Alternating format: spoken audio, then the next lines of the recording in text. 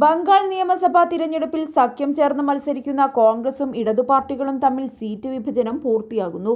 രണ്ടുഘട്ട ചർച്ചകൾ കഴിഞ്ഞപ്പോൾ നൂറ്റി തൊണ്ണൂറ്റിമൂന്ന് സീറ്റുകളിൽ ധാരണയായി. നൂറ്റി ഒന്ന് സീറ്റുകളിൽ ഇടതു പാർട്ടികൾ മത്സരിക്കും. ബാക്കി തൊണ്ണൂറ്റി രണ്ട് സീറ്റുകളിൽ കോൺഗ്രസും ജനവിധി തേടും. ഇനി നൂറ്റി ഒന്ന് സീറ്റുകളിലാണ് ചർച്ച നടക്കുന്നത്. മൂന്നാം ഘട്ട ചർച്ചയിൽ ഈ സീറ്റുകളുടെ വിഭജനം പൂർത്തിയാക്കുമെന്ന് നേതാക്കൾ പറഞ്ഞു. രണ്ടായിരത്തി പതിനാറിലെ നിയമസഭാ തിരഞ്ഞെടുപ്പിൽ ജയിച്ച മണ്ഡലങ്ങളിൽ ഇത്തവണ അതാത് പാർട്ടികൾ തന്നെ ജനവിധി തേടും. ഈ സഖ്യം രണ്ടായിരത്തി പതിനാറിൽ എഴുപത്തിയേഴ് സീറ്റുകളിലാണ് വിജയിച്ചത്. കോൺഗ്രസിന് മാത്രമായി നാൽപ്പത്തിനാല് സീറ്റുകൾ കിട്ടിയിരുന്നു. മുപ്പത്തിമൂന്ന് സീറ്റുകളിൽ ഇടതുപക്ഷവും വിജയിച്ചു.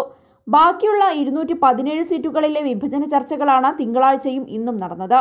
മൂന്നാം ഘട്ട ചർച്ച മറ്റൊരു ദിവസം നടക്കുമെന്ന് മുതിർന്ന കോൺഗ്രസ് നേതാവ് പ്രദീപ് ഭട്ടാചാര്യ വാർത്താ സമ്മേളനത്തിൽ പറഞ്ഞു. ഈ മാസം തന്നെ എല്ലാ സീറ്റുകളുടെയും വിഭജനം പൂർത്തിയാക്കാനാണ് സഖ്യത്തിന്റെ തീരുമാനം.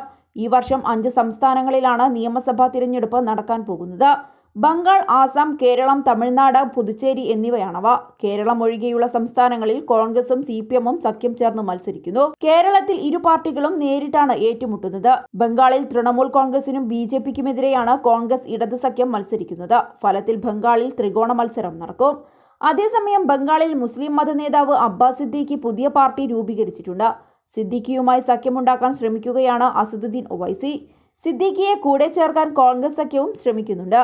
സിദ്ദിഖിയുമായി സഖ്യം വേണമെന്നാണ് ബംഗാളിലെ മുസ്ലിം ലീഗ് നേതാക്കൾ ആവശ്യപ്പെട്ടിരിക്കുന്നത്.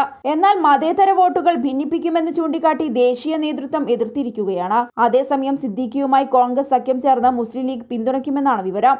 അങ്ങനെ സംഭവിച്ചാൽ ഒവൈസിയും മുസ്ലിം ലീഗും കോൺഗ്രസും സി പി എമ്മും എല്ലാം ചേർന്നുള്ള സഖ്യമായി മാറും. ഇതുകൂടി കണക്കിലെടുത്താണ് ബാക്കിയുള്ള സീറ്റ് വിഭജനം നടക്കുക.